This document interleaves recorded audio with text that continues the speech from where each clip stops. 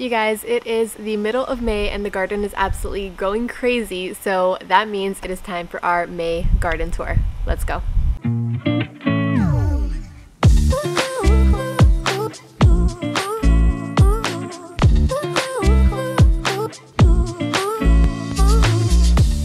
Hey guys, welcome back to Mini Urban Farm, a channel about gardening and homesteading in the suburbs. My name is Veronica, and today I'm going to walk you through my entire garden, um, which is 60 feet total, all right, 30 feet long, 2 feet wide, 60 feet total, and everything that we've been able to harvest so far this season, um, everything that I am struggling with in the garden as far as pests, um, and some maybe lighting issues for some of the plants. Let me jump right in and I will show you exactly what's going on. Alright, so we're going to start over here. Um, this is the right corner of my garden where all of my, or where half of my Roma tomatoes are actually. Um, you can see we actually have quite a few little baby Roma tomatoes starting to come out. Um, I actually went through and picked off a whole bunch of them that were not doing too well um, because if you'll notice here, we have some damage on these leaves. All right. So this is actually cutworm damage. Um, and so I came out here a couple days ago and I noticed on the bottom sides of a lot of these leaves, there were little baby cutworms. And I think maybe I got quite a few of them off. So I haven't seen any of them for the last day or so um, but there were quite a few and I took them and I put them in soapy water um, and they seem to not have come back and I also put as you can see, um, I put a whole bunch of diatomaceous earth. Um, so that seems to have controlled it quite a bit. And I did get some BT, which I'm going to be using on the garden. This is um, effective for cutworms and caterpillars and that sort of thing. Um, so I will be spraying this on the plants. Um, I'm going to do this at night so it doesn't dehydrate any of the plants or burn them or whatever it is. Um, the same thing with neem oil. So I'm going to spray this on the foliage and then just continue to do it because I did notice I didn't have tons of very large ones, but I got a whole bunch of little baby ones. So I'm going to try to control it that way um, so that I don't have to throw out any of these beautiful tomatoes. Um, these are my Romas and I cannot wait to harvest them. Oh, and we got one little guy here. So I'm to go ahead and pick him off before he gets to my plants. So before I go on to the rest of the garden, you can see that I have my vertical gardening here. I have some herbs planted behind or underneath my, um, my tomatoes, all of that. So one of the things that I really love talking about on this channel is maximizing your garden space, right? So my last video was how to maximize your garden space, right? If you have a little bit of space, how to grow more food in just that small amount of space. Now, I also wanted to say that my Starting Your Urban Vegetable Garden is now live as of May 14th today. So I am super excited to share that with you guys. It is everything I know about growing food in a small space in your backyard, um, anything like that. And it talks about tons of ways to maximize your growing space on your budget with your time um, in a space you already have to grow the most amount of food for your family um, that you possibly can. So if you're interested in that, I will leave the link in the description below. Be sure to check that out. Alright, so growing next to that are my cucumbers, um, and they are actually growing, oh, if I can avoid the sun here, they're growing up above the fence line. I don't know if you can see it, it's kind of blown out here, um, but they're growing above the fence line, so I'm going to come and kind of just do some control on this and bring them down and keep them on this trellis. Um, I have some space this way um, above the beans here, this little area. Um, so I'm going to try to trellis them downward again and back up. Um, but the most exciting thing, and I have been actually waiting to pick this um, so I can make this video, my lemon cucumber, my very first lemon cucumber actually. So here we are beautiful lemon cucumber. I cannot wait to cut this open. Um, it has been ripening a couple days here and I wanted to show you guys so I waited um, but I am really happy to be able to harvest it now and we have a ton more little yellow flowers. Um, that was the first one but I did see a whole bunch of other ones growing here um, so I think we actually might get a few lemon cucumbers this season. Um, I can't wait to actually try it and see what it taste like but there's a whole bunch of little baby ones. Now, I haven't really been hand pollinating these. Um, you can, if you want to, right? You can take some of these little um, male flowers and yank them off and come in here and pollinate what you notice are the female flowers. Um, I haven't been doing that just because I don't have the time this season to do that. Um, and I am going to come through here with some neem oil because I'm starting to notice some powdery mildew, um, which has killed my cucumbers in the past. So I really want to avoid that. I'm going to snip these leaves off, anything that has powdery mildew. Um, it's not that many of them. I've noticed some of the smaller or like the the lower leaves, um, and then this is like just my diatomaceous earth. Um, so not stuff like that, but things that have those little white spots on them. I want to prevent that and catch it really early. Um, I'm going to come through and spray neem oil on them um, and hopefully be able to control that and not have to deal with that this season again. Um, now below here, um, below my cucumbers and next to my tomatoes are my jade bush beans I think or like blue lake bush beans I forgot which one they are because they look basically the same. Um, but you can see they have a whole bunch of little baby flowers on them. Um, so I am hoping that in the next couple of days here we'll actually start getting some little green beans. Um, they are like seriously flowering.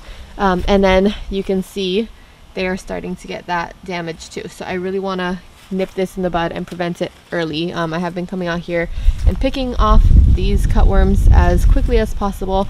Um, but yeah, hopefully we'll be able to stop that from spreading. So continuing on with our beans, we have yellow wax beans um, for the rest of these, and we have quite a few. I think it's like half and half with the yellow wax beans up to around there or so, and then we have a whole bunch of um, bush beans that are like green beans. Um, but I don't like the trellising ones because they generally like the the trellising ones I found are really stringy. So these ones don't have any strings on them and they're really great.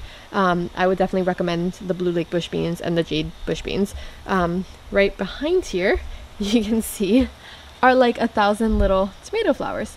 So these are actually um, indeterminate tomatoes. They're cherry tomatoes and we have making sure there's no bugs on here and we do have quite a few of the um, little baby tomatoes coming out. Oh here we go. I found a cluster here. So I don't think I've seen so much of that pest damage on these maybe because they're higher up and not on the ground and also because um, I have like some stuff planted underneath here like I have some thyme which I have on the other ones too. Um, but I think because this here is kind of blocking a lot of that and then it's further up.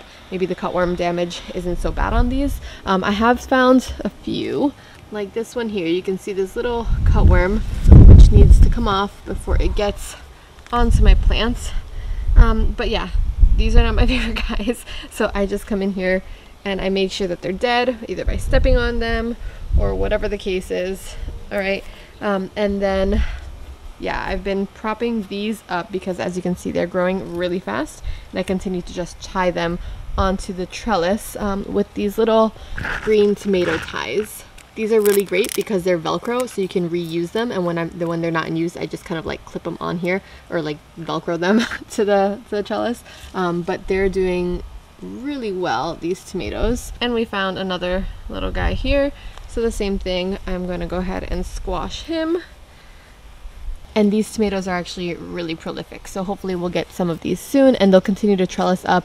Um, and because of course they're indeterminate tomatoes as these ones trellis up um, they will continue to grow more flowers and then the bottom leaves will you know just continue to produce and they'll they'll really not stop until I either rip them out um, or something gets them like pests or whatever. But as long as they have the ideal growing conditions these tomatoes will continue to produce and flower. I mean each one of these hopefully will turn into a little baby tomato. So I cannot wait to see what these ones taste like. This is the first time I'm growing this variety.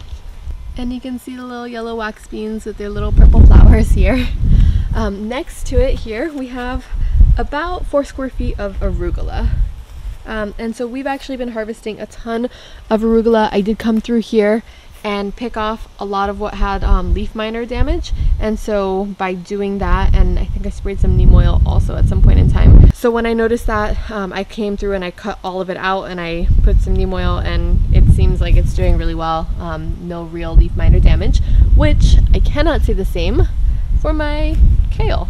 Um, if this doesn't look like kale to you, that is because um, the cutworms have gotten to it. And so I came over here and I picked off about 20 cutworms the other day. Um, I hoping it will continue to grow, but I also came through and I reseeded some kale because I don't know if this is actually going to survive. Um, and I would like some kale this season. Next to it is my mustard. All right, so they're four square feet, four square feet, and four square feet for a total of six square feet of leafy greens. So this is all my salad greens.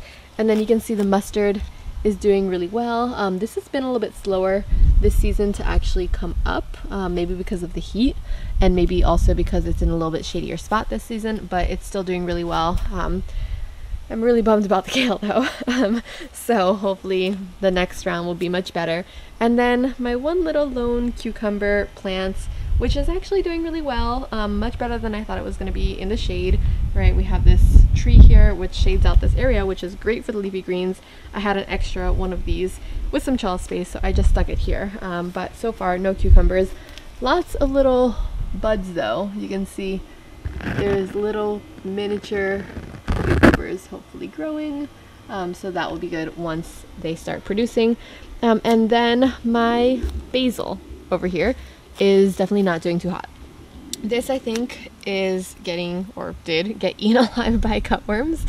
All right, my parsley is back here. This is actually parsley I had from a previous or from last season um, and I saved it and I stuck it back in here with the roots and everything is doing really well as well as that parsley back here um, and some of these little baby parsley which are coming up um, new for this season which I seeded in. This basil has been eaten alive though. Um, actually, that's lemon balm, which is also getting eaten alive, the same as that one. Um, this parsley, not doing so hot, which is why I actually went to the garden center the other day and I got some basil. So I have a couple of these plants. Um, there's actually a few in each of these containers. So I'm going to separate them out and I'm going to put down maybe some coffee grounds to prevent the caterpillars or cutworms or whatever they are um, and then also use some neem oil and hopefully that will prevent them from eating that um, because I would actually like to harvest some basil and I have some oregano. All right, so hopefully the same thing. Um, and I have my little lemon balm here, so also trying to find a way to protect that. Um, now you can see here though, um, this is the base of my tree and this is parsley growing out of the floor and actually quite a bit of it. All right, I did not plant this here, of course. Um, it must have just seeded itself or maybe some of the seeds I had like originally planted in here like blew over with the winds.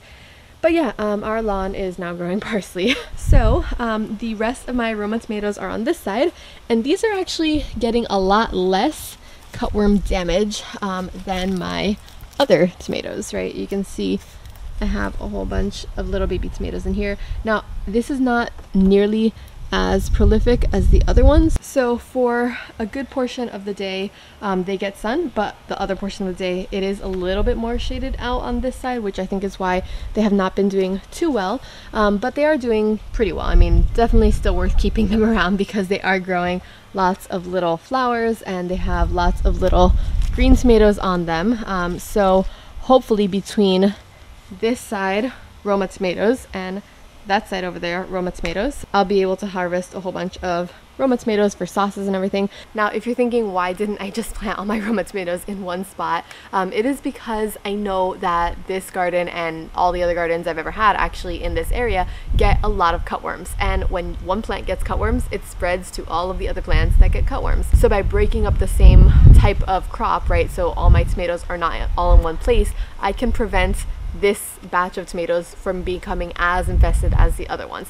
You can see they both still have it and even my indeterminate tomatoes which are right there behind me they still have some. However they don't have nearly as much as the ones right here um, and that is because they're a little bit separated. So at least if that one becomes completely overrun by cutworms I'm able to save the other ones um, and so you never want to place anything that has the same type of um, pest in all in one little bunch because once it gets wiped out, you don't have any more of that type of vegetable.